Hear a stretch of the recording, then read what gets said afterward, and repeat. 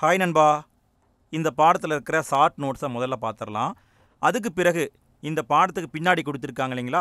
புத்தக வினா விடைகள். அதை எடுத்து ஒர்க் அவுட் பண்ணி பார்த்துடலாம் இந்த பாடத்தில் மெயினாக என்ன தான் பேசுகிறாங்கன்னு பார்த்தீங்கன்னா ஆங்கில ஆட்சிக்கு எதிராக தொடக்க காலத்தில் எழுந்த கிளர்ச்சிகள் என்னங்கிறத பேசுகிறாங்க அதாவது ஆங்கிலேயருக்கு எதிராக ஆரம்ப காலத்தில் யார் யார் புரட்சி பண்ணாங்க? ஏன் புரட்சி நடந்தது? அப்படிங்கிறத பற்றி பேசுகிறாங்க இதே கண்டென்ட்டை தான் நம்ம டென்த்து புக்கில் படிப்போம். அதாவது டென்த்தில் முதல் பாடம் ஒன்று இருக்குதுங்க. அந்த பாடமும் இந்த பாடமும் சேம் ஒரே பாடம் தான் என்ன இங்கே டேட்டா கொஞ்சம் கம்மியாக இருக்கும் அங்கே டேட்டா கொஞ்சம் அதிகமாக இருக்கும். அவ்வளோதான் வித்தியாசம். மற்றபடி ஒரு வித்தியாசம் கிடையாதுங்க. சரி பாடத்துக்குள்ளே போகலாம் முதல்ல ஆங்கிலேயர்கள் எதுக்காக இந்தியாவுக்கு வந்தாங்கன்னு பார்ப்போம். எதுக்காக வந்தாங்க? வணிகம் பண்ணுறதுக்காக வந்தாங்க. வணிகம் பண்ணுறதுக்காக வந்தவங்க என்ன பண்ணுறாங்க இந்தியாவில் நிர்வாகம் பண்ண ஆரம்பிக்கிறாங்க. ஆட்சியை பிடிக்கிறாங்க. எப்படி ஆட்சியை பிடிக்கிறாங்க?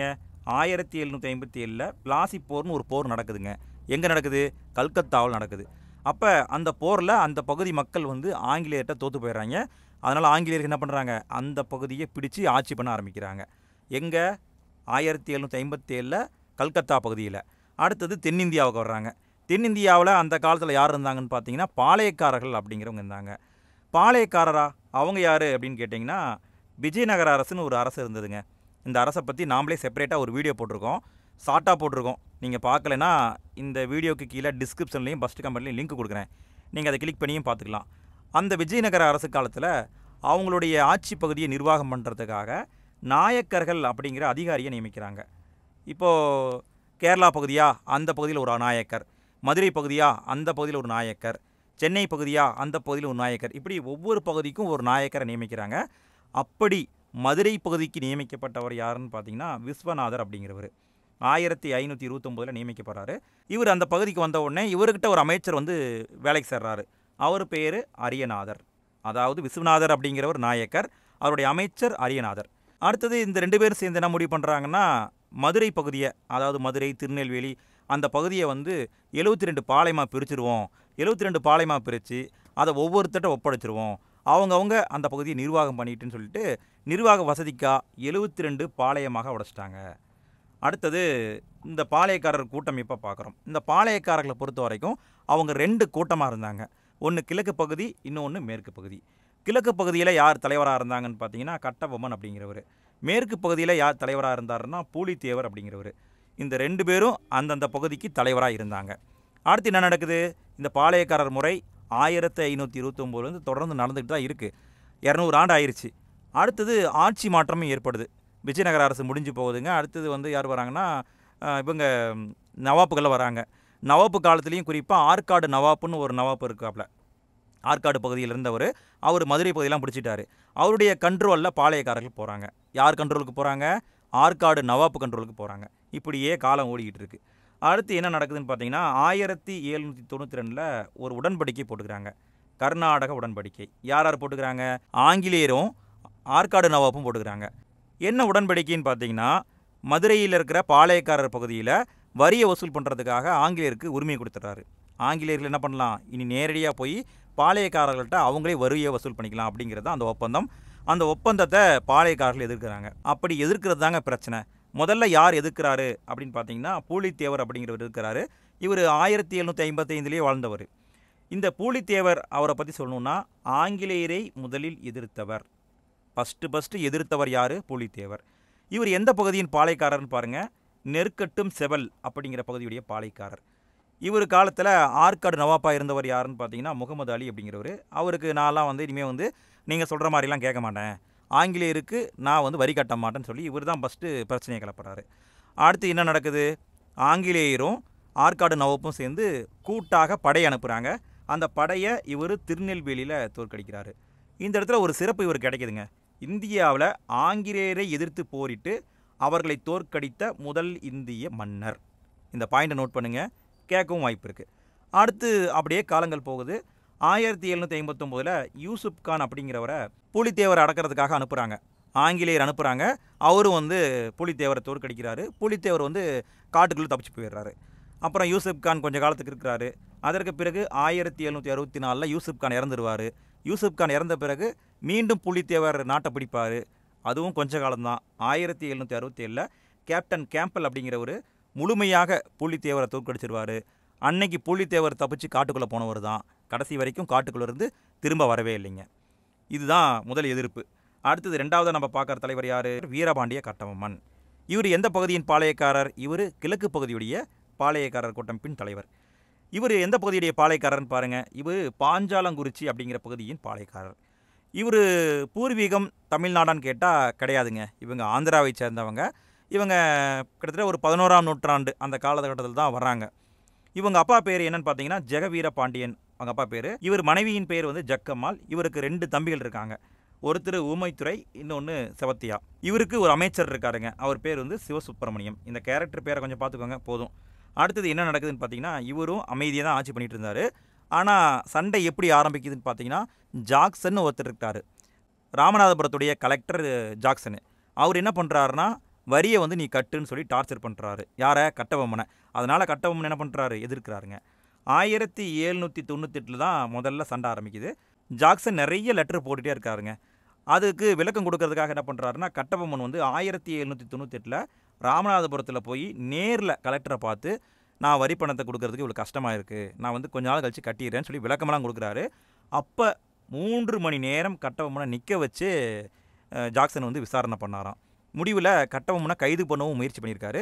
அந்த நேரத்தில் என்ன நடந்திருக்குன்னா ஊமைத்துறை இவர் தம்பி இருக்கார் இல்லையா அவர் போய் அங்கே இருக்கிறவங்கள அடித்து போட்டு கட்டபொம்மனை மீட்டுட்டு வந்துட்டார். ஆனால் வந்து சிவசுப்பிரமணியனார் அமைச்சர் இருக்கார் பார்த்தீங்களா அமைச்சர் வந்து ஆங்கிலேயர்கிட்ட மாட்டிட்டார். இந்த பிரச்சனை அப்போ இருந்த சென்னை மாகாண அரசுக்கு போதுங்க. அப்போ சென்னையில் யார் கவர்னராக இருந்தாருன்னு பார்த்தீங்கன்னா எட்வர்டு கிளைவ் அப்படிங்கிறவர் அவர்கிட்ட மேல்முறையீடு பண்ணுறாங்க அப்போ அவர் வந்து ரெண்டு பேர்த்தையும் கூப்பிட்டு விசாரிச்சுட்டு கட்டபொம்மன் மேலே தப்பு இல்லை ஜாக்சன் மேலே தான் தப்பு இருக்குது அப்படிங்கிறத தெரிஞ்சுக்கிட்டு கலெக்டரை மாற்றுறாரு ஜாக்சன் துறையை தூக்கிட்டு அதற்கு பதிலாக எஸ்ஆர் லூசிங்டனை நியமிக்கிறாருங்க. அடுத்தது என்ன நடக்குது?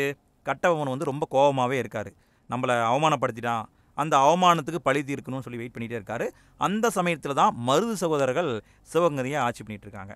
மருது பாண்டியர் இவங்களை பற்றி சொல்லணும்னா தென்னிந்திய கிளர்ச்சியாளர் இது கட்சியாளர் கிடையாதுங்க டைப்பிங் மிஸ்டேக்கு தென்னிந்திய கிளர்ச்சியாளர் கூட்டமைப்பு அப்படிங்கிற ஒரு கூட்டமைப்பு உருவாக்குறாங்க. அந்த கூட்டமைப்பில் கட்டபொம்மன் இணைகிறாரு அந்த கூட்டமைப்பில் ஒரே ஒரு பாளையம் மட்டும் இணையலைங்க. அந்த பாளையத்தை பார்த்துக்கோங்க சிவகிரி அப்படிங்கிற பாளையம். அந்த பாளையத்தை கட்டபொம்மன் தாக்குறாரு. ஏன்டா நாங்கள்லாம் கூட்டமாக சேர்ந்து ஆங்கிலேயர் எதிர்த்துட்டு இருக்கோம் நீ மட்டும் சேர மாட்டியா? அப்படின்னு சொல்லி அந்த பகுதி தாக்குறாரு. உடனே ஆங்கிலேயர்கள் கட்டபொம்மன் மேலே படையெடுக்கிறாங்க யார் படையெடுத்து வர்றாங்கன்னு பாருங்கள் மேஜர் பானர்மேன் எப்போ எடுத்து வராரு ஆயிரத்தி எழுநூற்றி தொண்ணூத்தொம்போது செப்டம்பர் ஐந்தாம் தேதி முழு படையும் கொண்டாந்து நிப்பாட்டிருவார். பயங்கரமாக சண்டை நடக்கும். முடிவில் ஆங்கிலேயர் படை வந்து பெருசாக இருக்கிறதுனால கட்டபொம்மன் தப்பிச்சு போயிடுவாருங்க. கட்டபொம்மன் தப்பிச்சு போய் புதுக்கோட்டை காட்டுக்குள்ளே நுழைஞ்சிருவார். அவருடைய அமைச்சர் சிவசுப்பிரமணியனார். அவர் கோலார்பட்டி அப்படிங்கிற இடத்துல நடந்த சண்டையில் மாட்டிக்கவருங்க அந்த சண்டையில் மாட்டின பிறகு அவரை என்ன பண்ணுவாங்கன்னா அங்கிருந்து கொண்டு போய் நாகலாபுரத்தில் தூக்கில் போட்டுருவாங்க. யாரை? சிவசுப்பிரமணியனாரை. அடுத்தது கட்டபொம்மனையும் பிடிச்சிருவாங்க.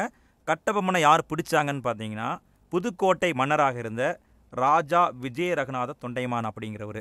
அவர் தான் கட்டபொம்மனை பிடிச்சி ஆங்கிலேயர்கிட்ட ஒப்படைச்சிடுவார் பாணர்மான் வந்து கட்டபொம்மனை தூக்கில் போட்டுருவார். எங்கே தூக்கில் போடுவாங்கன்னா கயத்தாருக்கு பக்கத்தில் இருக்கிற பழைய கோட்டை அப்படிங்கிற இடத்துல ஆயிரத்தி எழுநூற்றி தொண்ணூத்தொம்போதில் அக்டோபர் பதினாறு. இந்த டேட்டை வேணால் கேட்க வாய்ப்பு இருக்குங்க.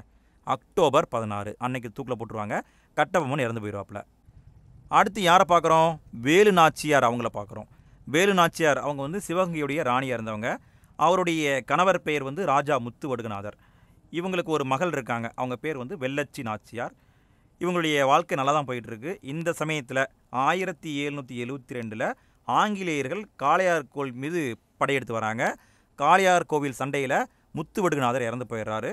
வேலு நாச்சியார் அவங்க பொண்ணை கூட்டிட்டு அங்கேருந்து தப்பிச்சு திண்டுக்கலுக்கு போயிடுறாங்க. திண்டுக்கல்லில் விருப்பாச்சின்னு ஒரு இடம் இருக்குது அந்த இடத்துல போய் எட்டு ஆண்டுகள் தலைமறைவாக தங்கியிருக்காங்க. அப்போ அவங்களுக்கு சப்போர்ட் பண்ணது யாருன்னு பார்த்தீங்கன்னா திண்டுக்கலின் நாயக்கராக இருந்த கோபால நாயக்கர். அவர் தான் ஹெல்ப் பண்ணியிருக்காரு. அடுத்து என்ன நடக்குதுன்னா பல பேருடைய சப்போர்ட்டின் காரணமாக ஆயிரத்தி எழுநூற்றி எண்பதில் திரும்பவும் போய் சிவகங்கையை பிடிக்கிறாங்க. அப்போ இவங்களுக்கு ஒரு பட்டம் கிடைக்கிது. இந்தியாவில் ஆங்கில ஆதிக்கத்தை எதிர்த்து போரிட்ட முதல் இந்திய பெண்ணரசி யாருன்னு பாருங்கள் வேலு நாச்சியார். இவங்களை வீரமங்கைன்னு சொல்லுவாங்க. தென்னாட்டின் ஜான்சி ராணி அப்படின்னு சொல்லுவாங்க. தென்னாட்டின் ஜான்சி ராணி. பார்த்துக்கோங்கப்பா. தென்னிந்தியாவின் ஜான்சி ராணின்னு ஒருத்தங்க இருக்கிறாங்க. யார்? தெரிஞ்சால் கமெண்ட்டில் போட்டுவிடுங்க. அவங்கள பற்றியும் செப்பரேட்டாக நம்ம வீடியோ போட்டிருக்கிறோம். எத்தனை பேர் கமெண்ட்டில் சரியான ஆன்சரை போடுறீங்கன்னு பார்ப்போம். அடுத்து நம்ம பார்க்குறது மருது சகோதரர்கள்.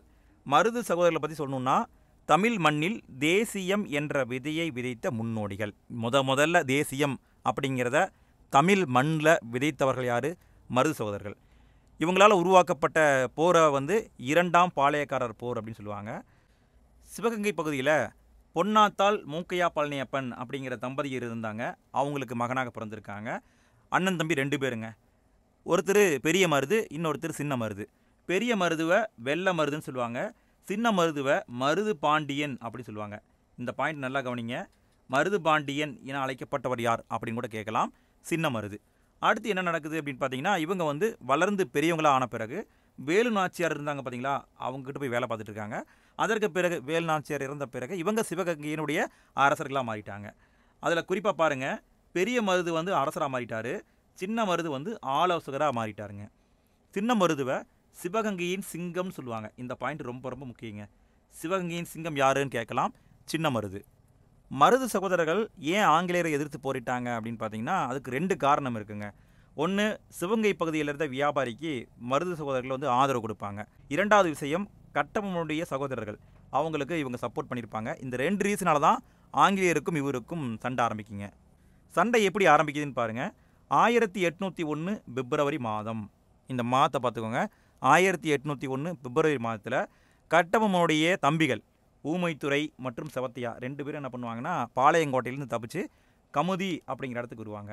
அவங்கள சின்ன மருது வந்து அவருடைய தலைமை இடத்துக்கு கூட்டிகிட்டு போவார். சின்ன மருதுவின் தலைமை இடம் எது? பார்த்துக்கோங்க. இதை கேட்க வாய்ப்பு இருக்குது சிறு வயல் அந்த பகுதிக்கு அவங்கள கூட்டிகிட்டு போவார். அடுத்து இவங்க என்ன பண்ணுவாங்க? பாஞ்சாலங்குறிச்சி கோட்டையை மீண்டும் உருவாக்கலாம்னு முடிவு பண்ணுவாங்க. கோட்டையை உடனே கட்ட ஆரம்பிச்சிருவாங்க. இருந்தாலும் ஆங்கிலேயர்கள் திரும்பவும் பாஞ்சாலங்குறிச்சி மேலே படையெடுத்து வருவாங்க. யார் வராங்கன்னு பாருங்கள் காலின் மெக்காலே அப்படிங்கிறவர். அவர் படையெடுத்து வந்து பாஞ்சாலங்குறிச்சி கோட்டையை திரும்பவும் இடிச்சிருவார். மருது சகோதரர்கள் கட்டமனுடைய தம்பிகளுக்கு சப்போர்ட்டாக இருக்கிறனால இவங்க மேலே ஆங்கிலேயர்கள் படையெடுத்து வருவாங்க. படையெடுத்து வர்றது ரெண்டு படை தப தளபதிகள். யார் யாருன்னு பாருங்கள் கர்னல் அக்னியோ கர்னல் இன்ஸ். இந்த ரெண்டு பேரும் என்ன பண்ணுவாங்கன்னா படையெடுத்து வருவாங்க. இவங்க பெரும் படையோடு வரதை பார்த்த உடனே அவ்வளவு படை வந்து மருது சகோதரிகிட்ட கிடையாது. அவங்க என்ன பண்ணுவாங்கன்னா ஒரு பிரகடனத்தை வெளியிடுவாங்க. அதை ஜூன் பிரகடனம் அப்படின்னு சொல்லுவாங்க. இல்லைன்னா திருச்சிராப்பள்ளி பேரறிக்கைன்னு சொல்லுவாங்க. இல்லைன்னா சுதந்திர பிரகடனம்னு சொல்லுவாங்க. மூணும் ஒரே ஒரு பிரகடனத்தை தான் குறிக்கும். பாருங்கள் அது எப்போ வெளியிடுறாங்க? ஜூன் மாதம் வெளியிடுறாங்க. அந்த பிரகடனம் வந்து ரெண்டு நகலை கொண்டது. ரெண்டு காப்பிங்க. ஒரு காப்பியை ஸ்ரீரங்கம் கோவிலுடைய சுவரில் ஒட்டுறாங்க. இன்னொரு காப்பியை திருச்சியில் இருந்த நவாப் கோட்டையுடைய சுவரில் ஒட்டுறாங்க. சின்ன மருது. அவர் இருபதாயிரம் வீரர்களை திரட்டியிருக்காரு. அடுத்தது சண்டை நடக்குதுங்க. பயங்கரமாக சண்டை நடக்குது. அடுத்தது மருது சொற்கள் வந்து தோற்று போயிடுறாங்க. ஆயிரத்தி எட்நூற்றி ஒன்று அக்டோபர் இருபத்தி நாலு அன்னைக்கு மருது சகோதரர்களை திருப்பத்தூரில் இருக்கிற கோட்டையில் வந்து தூக்கில் போட்டுறாங்க. அடுத்து கட்டவனுடைய தம்பிகள். அவங்கள ஆயிரத்தி எட்நூற்றி ஒன்று நவம்பர் பதினாறு. நவம்பர் பதினாறில் பாஞ்சாலங்குறிச்சியில் தூக்கில் போட்டுறாங்க. அடுத்தது எழுபத்தி மூணு கிளர்ச்சியாளர்கள். எழுபத்தி மூணு பேரை நாடு கடத்துகிறாங்க இங்கே இருந்தால் கண்டிப்பாக பிரச்சனை வரும் அப்படின்ட்டு இந்த நாட்டை விட்டு வேறு நாட்டுக்கு மாற்றுறாங்க எங்கே மாற்றுறாங்கன்னா மலேயா அப்படின்னு ஒரு தீவு இருக்குதுங்க. அந்த தீவில் பினாங்கு தீவுன்னு உள்ள ஒரு சின்ன தீவு இருக்குது அந்த தீவுக்கு நாடு கடத்துகிறாங்க இந்த பினாங்கு தீவை பிற்காலத்தில் வேல்ஸ் இளவரசர் தீவுன்னு பேர் மாற்றம் பண்ணிட்டாங்க. அடுத்தது என்ன ஆகுது? அடுத்தது இறுதியாக ஆற்காடு நவாப்பும் ஆங்கிலேயரும் இன்னொரு ஒப்பந்தம் போடுகிறாங்க ஆயிரத்தி எட்நூற்றி ஒன்று ஜூலை முப்பத்தி ஒன்று ஒப்பந்தம். என்ன ஒப்பந்தத்தின் பேர் பார்த்தீங்கன்னா கர்நாடக உடன்படிக்கை தான் வேற ஒன்றும் கிடையாது. அந்த உடன்படிக்கையின்படி பாளையக்காரர் முறை இந்தியாவிலிருந்து முற்றிலும் நீக்கப்பட்டது. முற்றிலும் தூக்கிட்டாங்க. அந்த முறையே இல்லை. என்னைக்குன்னு பாருங்கள் ஆயிரத்தி எட்நூற்றி ஒன்று ஜூலை முப்பத்தி ஒன்று இருந்தாலும் இன்னும் ஒரே ஒரு பாளையக்காரர் இருக்கார். கொங்கு பகுதியின் பாளையக்காரர். யாருன்னு பாருங்கள் தீரன் சின்னமலை அப்படிங்கிறவர். இவர் எந்த பகுதியை சேர்ந்தவர்னு பார்த்தீங்கன்னா ஈரோடு மாவட்டத்தில் சென்னிமலைன்னு ஒரு பகுதி இருக்குங்க. அந்த பகுதிக்குள்ளே மேலப்பாளையம்னு ஒரு ஊர் இருக்குது அந்த ஊரில் பிறந்தவர் தான் தீரன் சின்னமலை. இவருடைய இயற்பெயர் என்னன்னு பார்த்தீங்கன்னா தீர்த்தகிரி. இவர் இளமையிலேயே ரொம்ப துடிப்பாக இருந்தார். இவர் கொங்கு பகுதியுடைய பாளையக்காரர். இவர் என்ன பண்ணியிருக்காருன்னா அப்பயே பிரெஞ்சுக்காரர்கிட்ட போய் ட்ரைனிங் எடுத்திருக்காரு. எப்படி வெப்பனை யூஸ் பண்ணுறது எப்படி போர் பண்ணணும் அப்படின்னு சொல்லி அப்பயே பயிற்சி எடுத்திருக்காரு. கொரில்லா போர் முறையில் ரொம்ப கைதேர்ந்தவராக இருந்திருக்காரு. இவர் அடுத்தது பிற்காலத்தில் என்ன பண்ணுறாருன்னா திப்பு சுல்தானோட சேர்ந்துக்கிட்டு ஆங்கிலேயரை எதிர்க்கிறாரு. ஆங்கிலேயர்களுக்கும் இவங்களுக்கும் நிறைய இடத்துல சண்டை வருது. காவேரி போர் ஓடாநிலை போர் அரச்சலூர் போர் இதெல்லாம் குறிப்பிட்டு சொல்லலாம். இதில் ஓடாநிலை போர்னு ஒரு போர் இருக்குது பார்த்தீங்களா இந்த போரில் ஒரு ஹைலைட் இருக்குங்க. என்ன காரணம்னா இங்கே ஒரு கோட்டையை கட்டி அந்த இடத்துலேயே நின்று ஆங்கிலேயர் எதிர்த்து சண்டை போட்டிருக்காரு. இறுதியாக என்னாச்சுன்னு பார்த்தீங்கன்னா துரோகத்தால் இவரை பிடிச்சிட்டாங்க. இவருடைய சமையல்காரர் பேர் வந்து நல்லப்பன் அவர் பேர். அவர் வந்து காட்டி கொடுத்துட்டாரு. அவரை அதனால் கைது பண்ணிட்டாங்க. கைது பண்ணிவிட்டு ஆயிரத்தி எட்நூற்றி ஐந்தில் சங்ககிரின்னு ஒரு இடம் இருக்குங்க சேலம் மாவட்டத்தில். அந்த சங்ககிரி கோட்டை இருக்குது மேலே. அந்த கோட்டையில் வந்து இவரை தூக்கில் போட்டாங்க. இவரோட பாளையக்காரர்கள் முற்றிலுமே முடிஞ்சு போயிட்டாங்க. அடுத்து வந்த புரட்சி என்னன்னு பார்த்தீங்கன்னா வேலூர் கழகம். எப்போ நடந்துச்சுன்னு பாருங்கள் ஆயிரத்தி எட்நூற்றி ஆறில் நடந்துச்சு. என்ன நடந்துச்சுன்னு பார்த்தீங்கன்னா திப்பு சுல்தான் அவர் வந்து நான்காவது மைசூர் போரில் தோத்துருவார். திப்பு சுல்தான். அவருடைய சொந்தக்காரங்க அவங்களுடைய ஃபேமிலி கிட்டத்தட்ட மூவாயிரம் பேருங்க. மூவாயிரம் பேருடைய சொத்தை ஆங்கில அரசு பிடுங்கிக்கும். பிடுங்கிக்கிட்டு அவங்கள வந்து விரட்டி எங்கள் மைசூர் பகுதியிலேருந்து கொண்டு வந்து வேலூர் கோட்டையில் அடைச்சிருவாங்க. அப்போ வேலூர் கோட்டை வந்து அவங்களுக்கு சிறை மாதிரி இருக்கும். பாளையக்காரர் முறையும் அப்போ தான் முடிவுக்கு வந்திருக்கும். பாளையக்காரர்கிட்ட வேலை பார்த்த படை வீரர்கள் அவங்க திப்பு சுல்தான்கிட்ட வேலை பார்த்த படை வீரர்கள் அவங்க அவங்களுக்கு வந்து சண்டை போடுறத தவிர வேறு வேலை தெரியாது. அதனால் என்ன பண்ணுவாங்கன்னா சரி நம்ம ஆங்கிலேயர்கிட்ட போய் சேருவோம் அப்படின்னு சொல்லி ஆங்கிலேயர்கிட்ட சேர்றாங்க. அப்படி சேர்ந்த படை வீரர்களையும் ஆங்கிலேயர்கள் கொண்டாந்து வேலூரில் வைக்கிறாங்க. அப்போ வேலூர் கோட்டை அப்படிங்கிறது தென்னிந்திய கிளர்ச்சியாளர்கள் சந்திக்கும் மையமாக சந்திப்பு மையமாக இருந்திருக்குங்க. அந்த காலத்தில் ஆயிரத்தி எட்நூற்றி மூணில் சென்னையுடைய மாகாண கவர்னராக இருந்தவர் யாருன்னு பார்த்தீங்கன்னா வில்லியம் காவெண்டிஸ் பெண்டிங் அப்படிங்கிறவர். அவர் காலத்தில் இருந்த படை தளபதி பாருங்கள் ஜான் கிரடாக் அப்படிங்கிறவர். அவருக்கு கீழே ஒரு இராணுவ தளபதி இருக்காப்புல அவர் பேர் வந்து அக்னியூ அப்படிங்கிறவர். அவர் ஆயிரத்தி எட்நூற்றி ஆறு ஜூன் மாதத்தில் அக்னியூ தொப்பி அப்படிங்கிற ஒரு தொப்பியை அறிமுகப்படுத்துகிறாரு அதில் சிலுவை சிம்பிள் போட்டிருக்கும். இதை வந்து இந்துக்களும் முஸ்லீம்களும் வந்து அணிய மாட்டேன்னு சொல்லி எதிர்ப்பை காட்டுறாங்க. அதுதான் பிரச்சனைக்கு காரணமாக இருக்குது அந்த சமயத்தில் திப்புவுடைய மூத்த மகன் மூத்த மகன் பேரை பாருங்க பதே ஹைதர் அப்படிங்கிறவர். அவர் என்ன பண்ணுறாருன்னா அங்கே இருக்கிறவங்களுக்கு நம்பிக்கை கொடுக்குறாரு. என் அப்பாவோட இருந்தவங்கலாம் என் கூட இன்னமே இருக்காங்க. எப்படியாவது கோட்டையை ஒரு பத்து நாள் நம்ம கண்ட்ரோல் எடுத்துக்கிட்டோம்னா திரும்பவும் நம்மளுடைய ஆட்சியை கொண்டு வந்துடலாம் அப்படின்னு சொல்லி நம்பிக்கையை உருவாக்குறாரு. அதனால் ஆயிரத்தி எட்நூற்றி ஆறு ஜூலை பத்தாம் தேதி ஜூலை பத்தாம் தேதி ஒன்றாவது மற்றும் இருபத்தி மூன்றாவது படைப்பிரிவுகள் கழகத்தில் இறங்குறாங்க. முதல் பழியாக யாரை போட்டு தள்ளுறாங்கன்னு பார்த்தீங்கன்னா கர்னல் பான்கோட் அப்படிங்கிறவரை போட்டு தள்ளுறாங்க. அடுத்து கிட்டத்தட்ட இருபத்தி மூணு பேரை கொண்டிருப்பாங்க எல்லாத்தையும் போட்டு தள்ளிட்டு ஆங்கில கொடியை இறக்கிட்டு திப்புவுடைய கொடியை ஏற்றுறாங்க திப்புவுடைய கொடி என்னன்னு பார்த்தீங்கன்னா புலிக்கொடி. இதை நோட் பண்ணுங்கள் கேட்க வாய்ப்பு இருக்குது அடுத்து என்ன நடக்குது? கோட்டைக்கு வெளியே வந்து மேஜர் கூட்ஸ் அப்படிங்கிறவர் இருக்கார். அவர் ராணிப்பேட்டையில் இருந்த கர்னல் கில்லஸ்பி அப்படிங்கிறவருக்கு தகவல் கொடுக்குறாரு. இந்த மாதிரி கோட்டையை இந்திய வீரர்கள் பிடிச்சிட்டாங்க அப்படின்னு சொல்லிட்டு அவர் உடனே அங்கிருந்து கிளம்பி வந்து கோட்டைக்குள்ள இருக்கிறவங்களை எல்லாத்தையுமே போட்டு தள்ளுறாரு. கிட்டத்தட்ட பார்த்தீங்கன்னா நூற்றி பதிமூணு ஐரோப்பியர்களும் முந்நூற்றி ஐம்பது சிப்பாய்களும் இந்த போராட்டத்தால் கொல்லப்பட்டார்கள். இறுதியில் இந்த போராட்டம் அடக்கப்படுது. திப்புடைய குடும்பத்தை இங்கிருந்து திரும்பியும் வந்து வேற இடத்துக்கு மாற்றுறாங்க எங்கே மாற்றுறாங்கன்னா கல்கத்தாவுக்கு மாற்றுறாங்க இந்த புரட்சி தான் பிற்காலத்தில் முதல் இந்திய சுதந்திர போர் உருவாச்சு பார்த்தீங்களா? அதற்கு ஒரு தொடக்க புள்ளின்னு சொல்கிறாங்க இதை முதல் இந்திய சுதந்திர போரின் முன்னோடி அப்படின்னு விடி சாவர்கர் குறிப்பிடுறாருங்க. இதை கேட்க வாய்ப்பு இருக்குங்க. யார் குறிப்பிட்டார் அப்படின்னு கேட்க வாய்ப்பு இருக்குது விடி சாவர்கர். இறுதியாக நம்ம என்ன பண்ணுறோம் பெரும்புரட்சியை பார்க்குறோம். ஆயிரத்தி எட்நூற்றி ஐம்பத்தி ஏழில் பெருங்கலகம் நடக்குதுங்க. அந்த கலகம் நடக்கும் பொழுது இந்தியாவுடைய ஆளுநராக இருந்தவர் யாருன்னு பார்த்தீங்கன்னா கானிங் பிரபு அப்படிங்கிறவருங்க. இந்த பெரும்புரட்சி நடக்கிறதுக்கு பல காரணங்கள் இருக்குது ஆனால் இன்சிடெண்ட்டான காரணம் உடனடி காரணம் என்னன்னு பார்த்தீங்கன்னா கொழுப்பு தடவப்பட்ட தோட்டாக்கள். குறிப்பாக யார் முதல்ல ஆரம்பிக்கிறாருன்னு பாருங்கள் ஆயிரத்தி எட்நூற்றி ஐம்பத்தி ஏழில் மார்ச் இருபத்தொம்போதாம் தேதி பராக்பூரில் இருந்த மங்கள் பாண்டே அப்படிங்கிற சிப்பாய் தான் முதல்ல இந்த பிரச்சனையை ஆரம்பிக்கிறாரு. அதற்கு பிறகு ஆயிரத்தி எட்நூற்றி ஐம்பத்தி ஏழு மே பத்து வெளிப்படையாக பிரச்சனை ஆரம்பிக்குதுங்க. புரட்சி ஆரம்பிக்குது. யார் பண்ணுறாங்கன்னு பாருங்கள் மீரட்டில் இருந்த மூன்றாவது குதிரைப்படை வீரர்கள். அவங்க தான் வெளிப்படையாக புரட்சியை பண்ண ஆரம்பிக்கிறாங்க. அடுத்து இவங்க கூட பதினோராவது மற்றும் இருபதாவது உள்ளூர் காலட்படையினர் முன்ன இருக்கிறவங்க குதிரைப்படை இப்போ இருக்கிறவங்க காலட்படையினர் அவங்களும் வந்து சேர்ந்துக்கிறாங்க. இந்த புரட்சி படுவேகமாக எல்லா இடத்துக்கும் பரவுது. நிறைய பேர் வந்து கலந்துக்கிறாங்க. மே பதினொன்றாம் தேதி மே பத்தாம் தேதி ஆரம்பித்தாங்க இங்கே பாருங்கள் மே பதினொன்றாம் தேதி என்ன ஆகுதுன்னா டெல்லிக்கு போகிறாங்க டெல்லியில் இருந்த முகாலய அரசர் இரண்டாம் பகதூர் சாவை இந்தியாவின் பேரரசராக அறிவிக்கிறாங்க. அப்போ என்ன ஆகுது? டெல்லி அப்படிங்கிறது புரட்சியுடைய மையமாக விளங்குது. பகதூர் ஷா அதன் அடையாளமாக இருக்கார். இந்த புரட்சி இந்தியாவுடைய பல பகுதிக்கும் பரவுதுங்க. ஏகப்பட்ட பேர் இந்த புரட்சியில் பங்கெடுத்துக்கிறாங்க. ஒரு வழியாக கடைசியாக இந்த புரட்சி எப்போ அடக்கப்படுதுன்னு பார்த்தீங்கன்னா ஆயிரத்தி எட்நூற்றி ஐம்பத்தேழு செப்டம்பர் இருபதில் டெல்லி கைப்பற்றப்படுது. அப்போ தான் இந்த புரட்சியும் அடக்கப்படுது.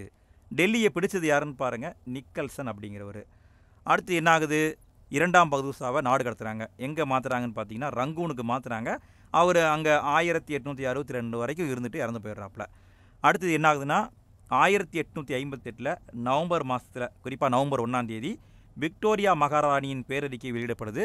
அதன்படி இந்தியா ஆங்கிலேயருடைய கட்டுப்பாட்டுக்கு போயிடுச்சு இந்த புரட்சியின் விளைவாக என்னென்ன பண்ணாங்கன்னு பாருங்கள் கவர்னர் ஜெனரல் அப்படிங்கிற போஸ்ட்டை தூக்கிட்டு அதற்கு பதிலாக வைஸ்ராய் அப்படிங்கிற போஸ்ட்டை கொண்டு வராங்க. இயக்குனர் குழுன்னு ஒன்று இருந்ததுங்க. கட்டுப்பாட்டு வாரியம்னு ஒன்று இருந்தது. இந்த ரெண்டையும் தூக்கிட்டு அதற்கு பதிலாக செயலர் தலைமையிலான பதினைந்து பேர் கொண்ட கவுன்சில் அப்படிங்கிறத உருவாக்குறாங்க. இந்திய மக்களுக்கு அவங்களுடைய நம்பிக்கைகள் இனி பாதுகாக்கப்படும் சொல்கிறாங்க இந்த புரட்சியை பற்றியும் விடி சாவர்கர் சொல்லியிருக்காருங்க. விடி சாவர்கர் ஒரு புத்தகத்தை எழுதியிருக்காரு. அந்த புத்தகத்தின் பெயர் முதல் இந்திய சுதந்திர போர்.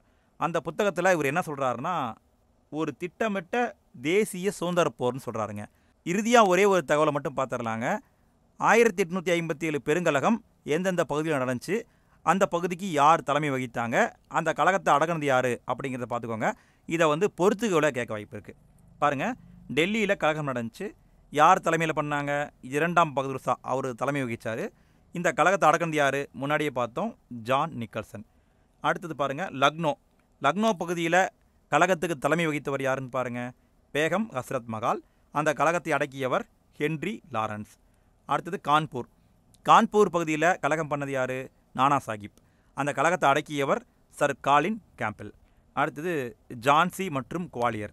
ரெண்டு பகுதியிலுமே கழகம் பண்ணது ராணி லட்சுமிபாய் அவங்கள அடக்கியவங்க ஜெனரல் ஹக்ரோஸ்.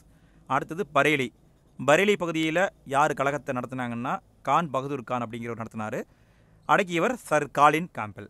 அடுத்தது பீகார் பகுதி. பீகார் பகுதியில் யார் தலைமை வகித்தாங்கன்னு பார்த்தீங்கன்னா கன்வர் சிங் அப்படிங்கிறவர். அதை அடக்கியவர் வில்லியம் டைலர். இந்த பாக்ஸ் கண்டனை மட்டும் முடிஞ்ச அளவுக்கு மனப்பாடம் பண்ணிடுங்க இதை பொறுத்துகவுல கேட்க வாய்ப்பு இருக்குது கண்டிப்பாக இந்த கொஷின் வரும். இது வரைக்கும் ஷார்ட் நோட்ஸை பார்த்தோம். அடுத்தது புக் பேக் கொஷினை எடுத்து ஒர்க் அவுட் பண்ணலாங்க. முதல்ல பார்க்குறது சரியான விடையை தேர்ந்தெடுக்கவும். சரி பார்க்கலாமா? முதல் கேள்வியை பாருங்கள் பாளையக்காரர் முறை ஏற்படுத்தப்பட்ட ஆண்டு எதுன்னு கேட்குறாங்க என்ன ஆண்டு? முன்னாடி தானே பார்த்தோம் இல்லையா? ஆயிரத்தி ஐநூற்றி இருபத்தி ஒன்பது. அடுத்து ரெண்டாவது கேள்வி பாருங்கள் பின்வரும் தமிழ்நாட்டு பாளையக்காரர்களுள் ஆங்கிலேய ஆட்சியை எதிர்த்ததில் முன்னோடி ஆங்கிலேய ஆட்சி எதிர்ப்பதில் முன்னோடின்னு யாருன்னு கேட்குறாங்க முன்னோடி யாருன்னு பார்த்தோம்? பூலித்தேவர். அடுத்தது மூன்றாவது கேள்வி. காலின் ஜாக்சன் அப்படிங்கிறவர் எந்த பகுதியின் ஆட்சியாளர்? ஜாக்சன் துறை நம்ம பார்த்தோம். கட்டபொம்மனுக்கும் இவருக்கும் தான் பயங்கரமாக சண்டை வரும். எந்த பகுதியின் ஆட்சியாளர் பாருங்கள் ராமநாதபுரம். அடுத்தது நான்காவது கேள்வி பாருங்கள் வீரபாண்டிய கட்டபொம்மன் கீழ்கண்ட எந்த இடத்தில் தூக்கிலிடப்பட்டார்? எங்கே தூக்கிலிடப்பட்டார் சொல்லுங்கள் பார்ப்போம் எங்கேன்னு பார்த்தீங்கன்னா கயத்தாறு. அக்டோபர் பதினாறு ஆயிரத்தி ஏழ்நூற்றி தொண்ணூத்தொம்போதில் தூக்கில் போட்டிருப்பாங்க. அடுத்து ஐந்தாவது கேள்வியை பாருங்கள் வேலு நாச்சியார் எந்த பகுதியின் ராணி? எந்த பகுதியின் ராணி? சிவகங்கையுடைய ராணி. அடுத்தது ஆறாவது கேள்வியை பாருங்கள் திருச்சிராப்பள்ளி பிரகடனம் யாரால் வெளியிடப்பட்டது? யாரால் வெளியிடப்பட்டது? மருது பாண்டியர்கள். இந்த இடத்துல ஒரே ஒரு கேள்வியை கேட்குறேன். திருச்சிராப்பள்ளி பிரகடனம் எப்போது வெளியிடப்பட்டது? இந்த கேள்விக்கான பதிலை கமெண்டில் போட்டுடுங்க. ஏன்னா அப்போ தான் இந்த வீடியோவை எத்தனை பேர் முழுமையாக பார்த்துருக்கீங்க அப்படிங்கிறத என்னால் கண்டுபிடிக்க முடியும். பார்ப்போம். அடுத்தது ஏழாவது கேள்வியை பாருங்கள் கீழ்கண்ட வைகளுள் தீரன் சின்னமலையோடு தொடர்புடைய பகுதி எதுன்னு கேட்குறாங்க தொடர்புடைய பகுதியை கேட்குறாங்க இங்கே வந்து ஒரே ஒரு ஆப்ஷன் வந்து ஓடாநிலை. அடுத்தது எட்டாவது கேள்வியை பாருங்கள் ராணி லட்சுமிபாய் எந்த பகுதியில் ஏற்பட்ட புரட்சியை வழி நடத்தினார்? இப்போ தானே பார்த்தோம். மத்திய இந்தியா. அடுத்தது கோடிட்ட இடங்களை நிரப்புக. முதல் கேள்வியை பாருங்கள் கிழக்கு பகுதி பாளையங்கள் யாருடைய கட்டுப்பாட்டில் இருந்ததுன்னு கேட்குறாங்க கிழக்கு பகுதினா வீரபாண்டிய கட்டம்மன் மேற்கு பகுதினா பூலித்தேவர்.